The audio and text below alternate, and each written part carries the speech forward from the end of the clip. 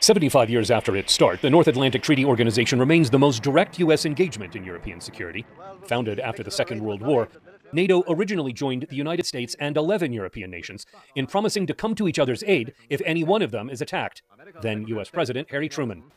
If there is anything certain today, if there is anything inevitable in the future, it is the will of the people of the world for freedom and for peace. Russia's invasion of Ukraine, NATO's response, and what it says about America's role in European security separate U.S. presidential candidates Joe Biden and Donald Trump. When he was president, Trump told NATO leaders they were not paying enough for their own protection. The one that benefits really the least is the United States. We benefit the least. We're helping Europe. Europe unites and they go against a common foe. Uh, that may or may not be a foe.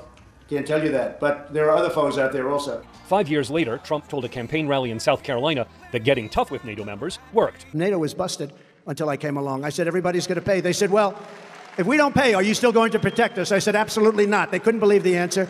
And everybody, you never saw more money pour in. NATO has grown since the Trump administration. Sweden and Finland joined the alliance in the last year or so. In its biggest expansion since the fall of the Soviet Union, allowed Eastern European countries to join NATO.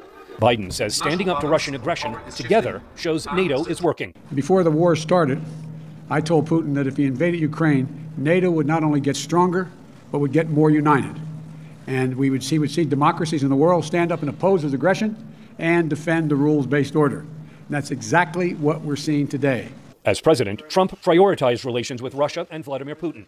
Campaigning for a second term, he recalled a NATO leader asking about Russian threats. One of the presidents of a big country stood up and said, Well, sir, uh, if we don't pay and we're attacked by Russia, will you protect us? I said, You didn't pay? You're delinquent?